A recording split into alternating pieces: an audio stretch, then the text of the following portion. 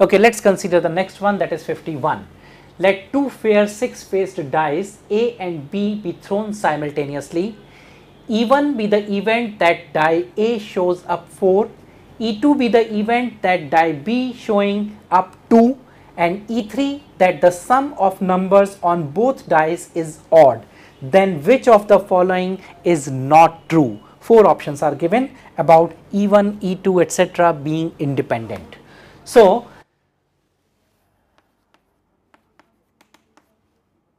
probability of the event E1 that is showing up 4 clearly 1 by 6 of E2 again 1 by 6 options if we read because we have to identify which one is not true. First one says E2 E3 are independent. Second says E1 E3 are independent. Third says E1 E2 E3 are independent Fourth says E1 and E2 are independent. Let's talk about the pair. E1 and E2. E1 that is A showing up 4, E2 that is B showing up 2. So, clearly we can see the product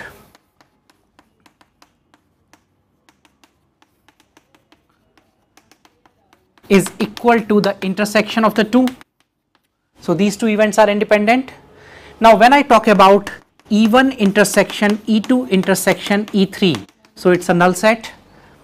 So, the product of probabilities should be 0 if the events are independent, but it is not the case because we see that E1, E2, E3 these are non-zero. So, clearly we can see here that option 3 is not true. So, correct option is option 3.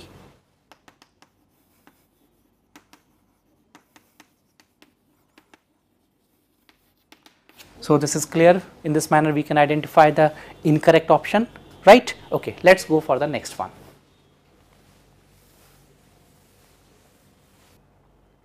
Okay, let us move to the next one. If A is given to me a matrix and A adjoint A equals A into A transpose then the value of 5A plus B is to be obtained. Let us try this one. A adjoint A that is determinant A into identity matrix equals A into A transpose right. So, we can write here 10A plus 3B multiplied with identity matrix of 2 by 2 equals 5A minus B 3 2 and the transpose that is 5A minus B here 3 2 right.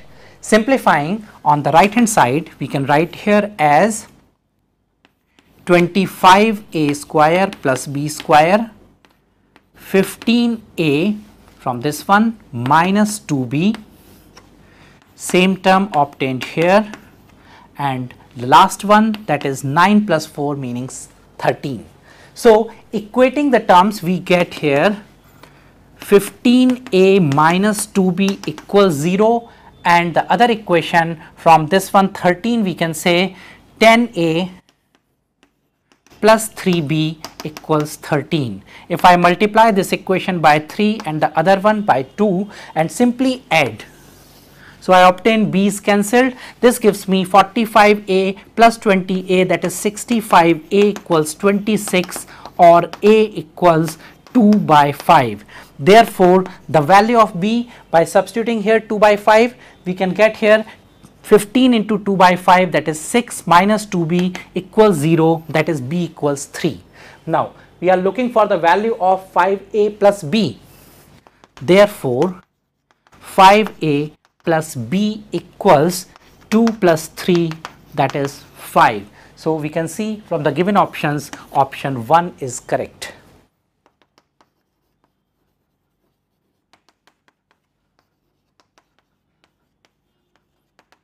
So, option 1 is correct. This is clear? Okay. Let us move to the next one that is question number 53.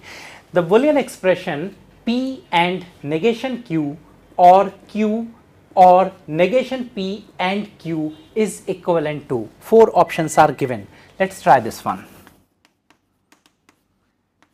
P and negation Q or Q or negation P and Q let us consider this one applying distribution we can say this is P or Q and Q or negation Q or negation P and Q. This Q or negation Q is simply tautology. Let us write the letter small t for it, the tautology word. So, P or Q and the tautology. So, this simply gives you P or Q. This is clear? Next, or negation P and Q.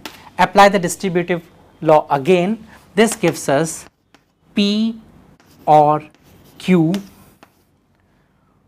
or negation P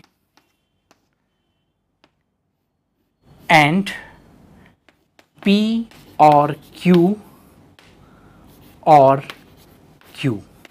So, here we can see that the term P or negation P will give you tautology and ORing with Q will give you again tautology, right?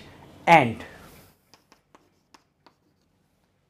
Q or Q is simply Q, P or Q that gives you P or Q. So, the result comes P or Q. So, from the given options we can see option 2 is correct.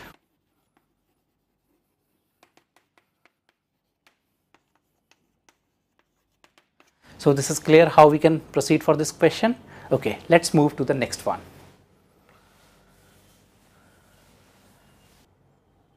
Okay, let us take the next one that is 54th. The sum of all real values of x satisfying this equation is, so we have to find the values of x first and then the sum of all the values.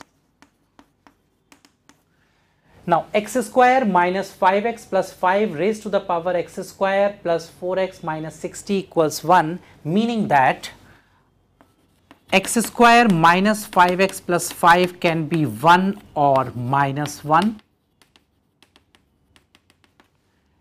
and we have another possibility that x square plus 4x minus 60 is 0 right but there is a constraint when we are going to take the value as minus 1 the power must be even otherwise the value will not come as plus 1. So, let us solve these ones.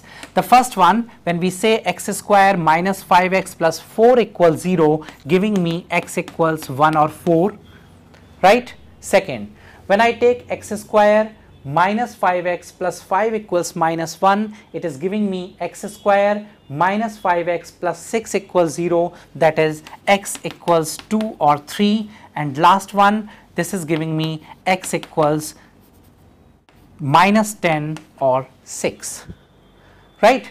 Now when I check the values 1, 4, 2, 3, minus 10, 6 when I am going to put 1 or 4 obviously I know this is going to become 1 no problem in that case. When I say 2 or 3 it is going to become minus 1 I need to verify whether the power is even or not. On substituting x is equal to 2 I observe the power is 4 plus 8 minus 60 that is even number so this will become 1. On substituting 3, I can clearly see this will be odd and the remaining 2 will be even. So, power becomes odd meaning that the value will come out as minus 1. So, 3 will not be a solution. This is clear. So, adding all we find the required sum as 1 plus 4 plus 2 plus 6 minus 10. So, this 10 is cancelled out and we are getting the result as 3 right. So, from the given options we can see option 4 is correct.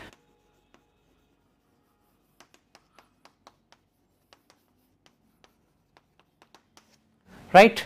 Let us move to the next one that is 55.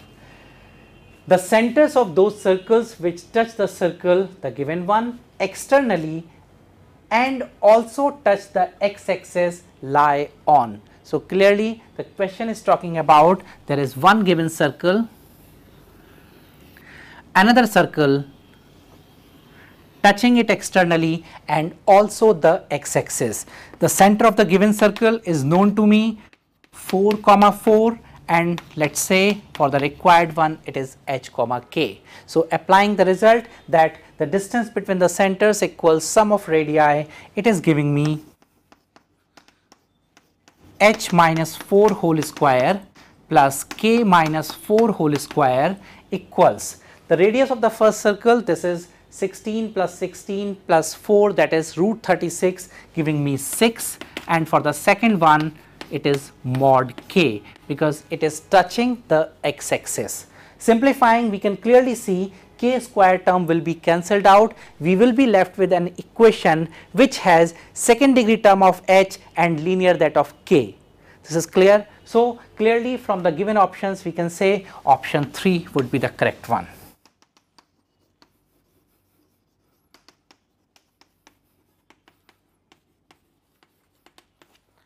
This is clear? Okay, let's move to the next one.